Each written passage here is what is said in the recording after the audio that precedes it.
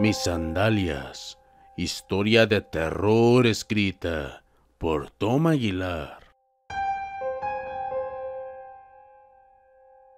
Desperté muy asustado y me doy cuenta que la luz tenía rato que se había ido, ya que en el cuarto se sentía calor. El clima se había apagado. Me levanté a revisar si había sido un problema en casa o de nuevo fallaba la línea eléctrica. Recuerdo que maldije entre dientes. Maldita sea, tengo que salir fuera y la verdad, no era muy valiente para la oscuridad. Y es que aún eran las 3 de la mañana y la caja de luz estaba fuera en el pasillo que va hacia el portón de salida hacia la calle. En esos días me encontraba solo en casa, ya que mi esposa e hijos se habían ido a casa de sus abuelos. Yo los alcanzaría llegando el fin de semana. Me levanté como pude y busqué en los cajones del tocador una lámpara que servía para esos trances. A tientas logré encontrarle. Al activarla suspiré aliviado el miedo ya había minorado con esa poca luz que me ofrecía dicha herramienta. Con lámpara en mano busqué mis sandalias. No estaban a la mano. Busqué alrededor y no estaban. Así que pensé, eso está debajo de la cama. No creerán, pero siempre desde niño he tenido esa sensación de que algo vive bajo la cama. Y ahí en ese momento, cuando lo recordé, volvió el miedo otra vez. En segundos recordé un episodio cuando era niño. También buscaba mis sandalias. Recuerdo que también no había luz y mi padre me habló para que lo acompañara.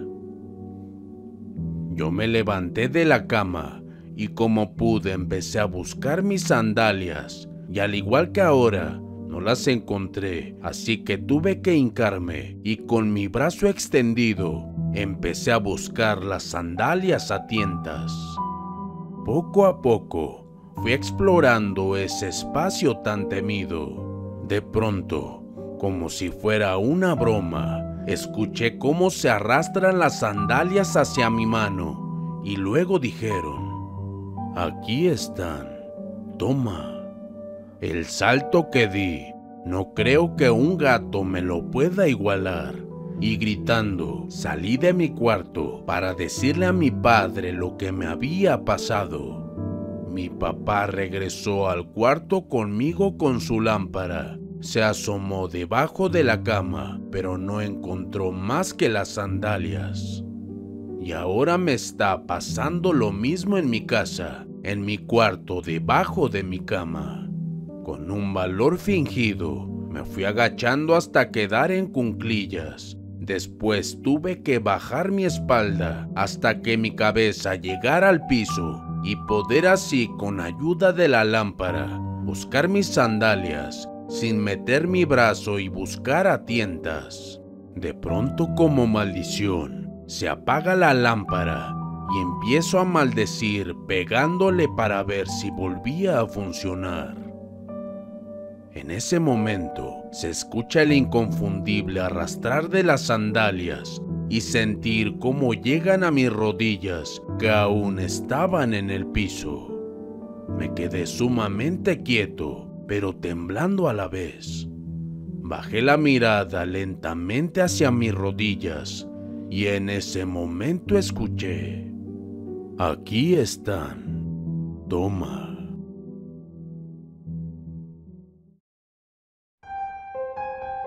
Historia de Alan Damaris, Cáliz de tu sangre. Las inmediaciones del pueblo de San Juan Chamula en el estado de Chiapas es uno de los pocos refugios mayas que aún se mantienen. Cada día que pasa es una lucha para mantener nuestra cultura y aunque nuestra comunidad es ahora mixta, en el pueblo hay una iglesia o templo que adula a las deidades de ambas religiones. Aunque ambas conviven en armonía hoy en día, no siempre fue así. Durante una época ambas facciones luchaban por la fe del pueblo, al punto de que la riña dividió al pueblo entero.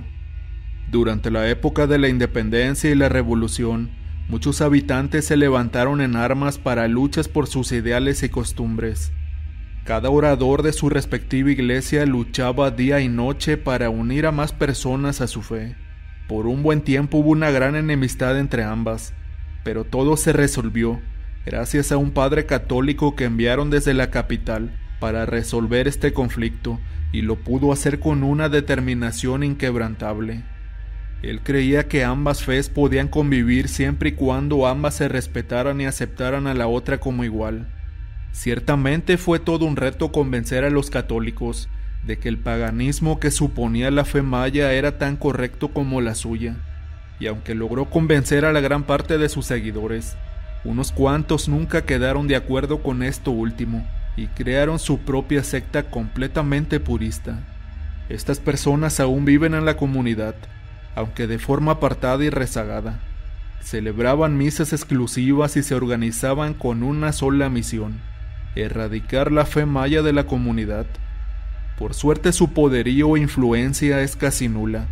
La mayoría de la gente los considera ahora solo locos o fanáticos religiosos. Por lo tanto ya no se les considera una amenaza propiamente dicha. Más bien son personas con las que es mejor no meterse. En mi pueblo nos autodenominamos oxiles, que es la palabra que aglomera todas las etnias originarias de Chiapas. Nos consideramos uno de los pocos pueblos donde aún conservamos las costumbres y tradiciones originales de nuestra tierra. Por ello somos muy apegados a nuestras creencias. La combinación de ambas comunidades, tanto la Sopsil como la católica, dan como resultado unas ceremonias únicas que unifican ambas creencias y de las cuales no permitimos que nadie las grabe o saque fotos. Esto último en voz de proteger nuestra cultura, pues hay muchos que no ven nuestra forma de vivir como algo viable. Muchas veces hemos sido juzgados y criticados, y esto por nuestro estilo de vida, y por eso es que somos tan precavidos ahora. Hace aproximadamente unos 15 años, ocurrieron una serie de eventos que condujeron a las precauciones ya mencionadas, aunque la secta purista que les mencioné antes no estuvo oficialmente involucrada. Muchos creemos que lo que pasó fue orquestado por ellos de alguna forma. Quizás en su desesperación encontraron algo que se salía de su control y lo liberaron sin considerar las consecuencias que esto podría traer. Yo estuve presente durante dichos acontecimientos, aunque tenía tan solo unos 8 o 9 años de edad. Sin embargo, mi edad era suficiente para entender que lo que estaba pasando no era algo normal, y lo sabía porque los adultos no sabían explicar esos sucesos. Todo empezó cuando en una de nuestras misas concurrentes ocurrió algo completamente aterrador. Nuestro templo no tiene bancas ni sillas como es costumbre, y en vez de eso pasamos toda la misa hincados. Además solemos poner una gran fogata en el centro del templo, para llevar a cabo los rituales correspondientes a la cultura maya. No obstante, en esa ocasión estábamos todos orando alrededor del fuego de la fogata, cuando de pronto éste emitió una llamarada normalmente grande, y por desgracia alcanzó al padre de la misa, causándole quemaduras de tercer grado. Todos en el templo fuimos testigos del acontecimiento subnormal, y aunque el padre no falleció, sí quedó muy mal herido. Tardó meses en recuperarse medianamente. Los sabios del pueblo dedujeron que se trataba de una señal divina que presagiaba un mal adyacente, y en cierta forma tenían razón. Otro evento ocurrió unas semanas después a esto, cuando un grupo de peregrinos del pueblo venían llegando de su gran viaje. Recuerdo verlos bajando por la estrecha pendiente que contorna la enorme montaña, que se encuentra justo a un lado del pueblo, y todos los niños íbamos a recibir con obsequios a los recién llegados. Sin embargo, no estábamos listos para ver de frente otra tragedia como la que ocurrió aquel día, justamente cuando estaban por llegar hasta abajo. El pedazo de camino que quedaba empezó a destruirse bajo sus pies, y aunque estaban a unos tres o cuatro metros del suelo, algunos acabaron ahí porque después de tocar el suelo, Los escombros cayeron encima. Solo sobrevivieron algunos cuantos e igualmente quedaron algunos malheridos. El siguiente y último acontecimiento ocurrió durante el carnaval festejado durante el miércoles de ceniza. Se comienza desde el día sábado y termina el miércoles. En este festival representamos mejor que nunca la dualidad de ambas culturas en comunión con danzas, música y teatro. Ocurrió durante el último día de los festejos se presentaría el grupo folclórico más famoso y representativo de nuestro pueblo, el grupo Valligel, que además funcionaban como activistas para la preservación de nuestra comunidad. Presentaron una danza contemporánea que se ganó miles de aplausos. Cuando el grupo se estaba despidiendo del público, haciendo la tradicional reverencia, uno de ellos empezó a vomitar abundantemente. Sus compañeros se acercaron para auxiliarlo, pero el vómito rápidamente se convirtió en una hemorragia. Se empezó a convulsionar mientras se retorcía en el suelo. Sin embargo, lo verdaderamente peculiar fue que aún así estaba gritando cosas en lo que parecía otro idioma.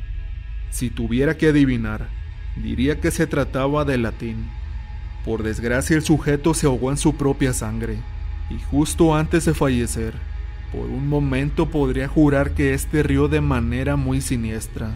La gente estaba muy conmocionada y espantada. Nadie sabía qué pensar. Se levantó una investigación por parte de los sabios del pueblo, pues para ellos era claro que se trataba de un crimen consensuado, y no tardaron en encontrar pruebas para argumentar su teoría. Lo peor de todo lo vimos solo unos cuantos, ya que cuando se estaba revisando el cuerpo, se encontró un pequeño pedazo de pergamino atorado entre los dientes, y cuando lo abrieron se llevaron una gran sorpresa, pues aquel pergamino tenía escrito con lo que parecía ser sangre la frase, Cuidaos de lo que os depara su futuro, la sangre de Cristo está en todos nosotros, y nos extirpará con su gloria hasta no dejar fruto maldito, porque este es el cáliz de tu sangre sangre de la alianza nueva y eterna. Entenderán por qué muchos le atribuyeron las agresiones a la iglesia de la que les hablé en un principio, y aunque no hubo evidencias que los incriminara, todos lo tomamos como una verdad oculta.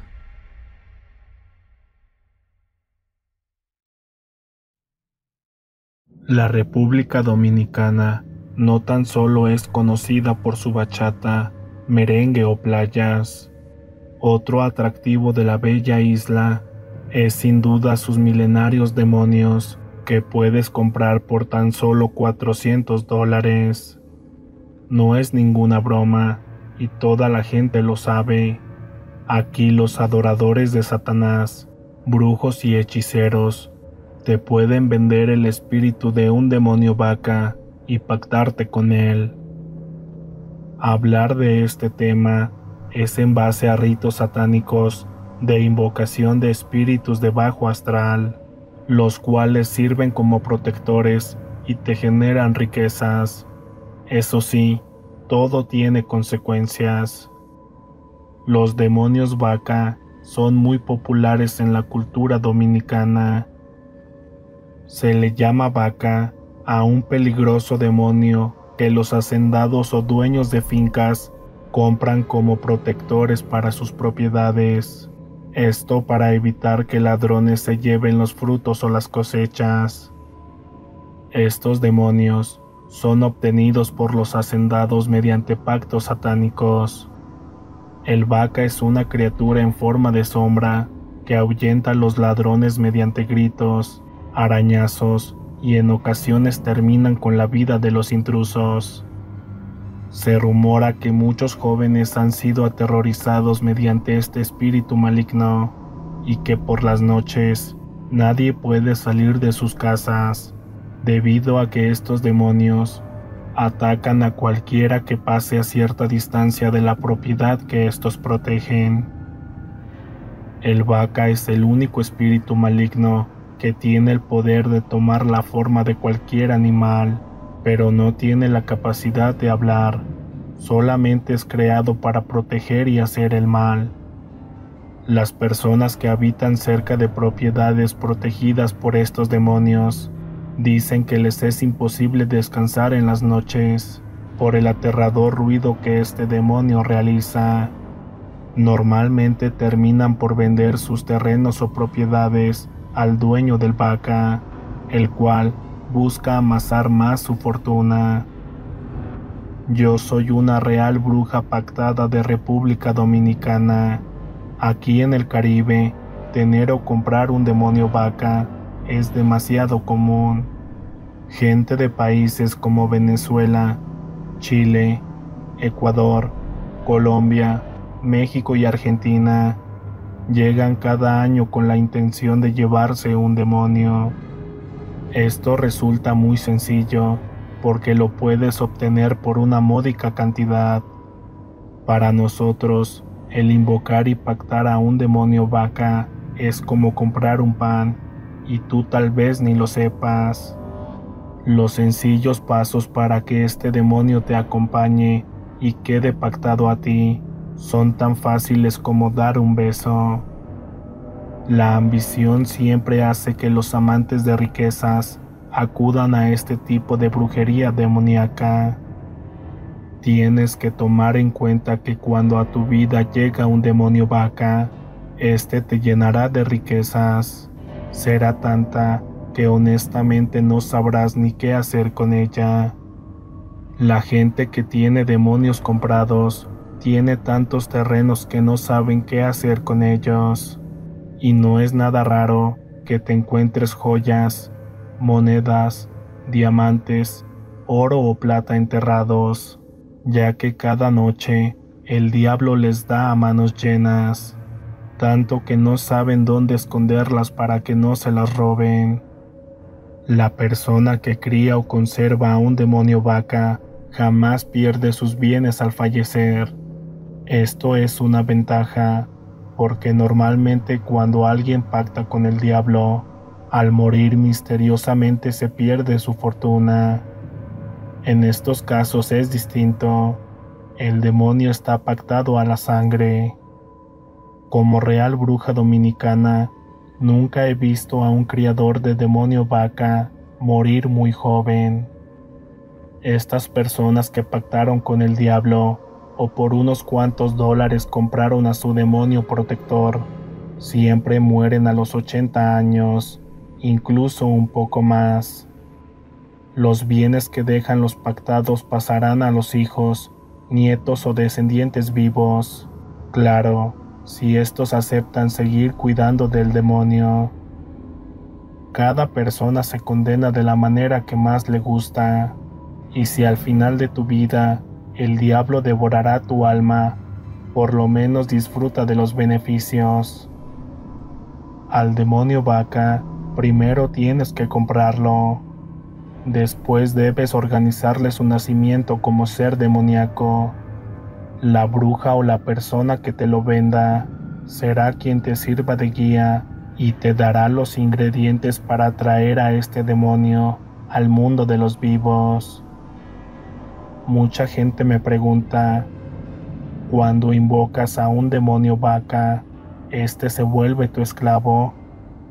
Eso de esclavitud eterna dependerá de lo que creas que existe después de la muerte.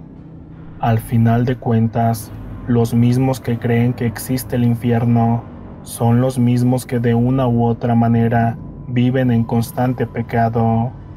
Le rezan a Dios para que los cuide, pero son envidiosos, mentirosos y al mínimo fallo del prójimo no lo perdonan. Todas estas acciones también te llevarán al infierno. Si bien les comenté, en todos mis años practicando brujería, nunca he visto a una persona pactada con un demonio vaca morir muy joven, o sea que gozan mucho sus placeres y lujos obtenidos. He visto cientos de familias devotas a Cristo y lo buenas que son con su fe, pero lo raro es que nunca salen de la miseria, además de que mueren jovencitos en accidentes o se enferman sin remedio. Para terminar, te contaré lo mejor. La familia que hereda al demonio no tiene ningún tormento, porque ellos no realizaron el pacto con el diablo. Pero una cosa es segura, tienen que seguir cuidando al demonio, y si no administran bien, la fortuna se acaba al poco tiempo. No justifico una cosa con otra, solo trato de relacionar lo comentado.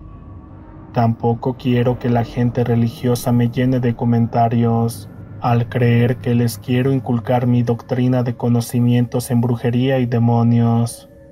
Pero la verdad, mucha gente en su ignorancia hace pactos con el diablo y normalmente cometen errores. Lo que les conté es tan solo una opción para que hagan las cosas bien.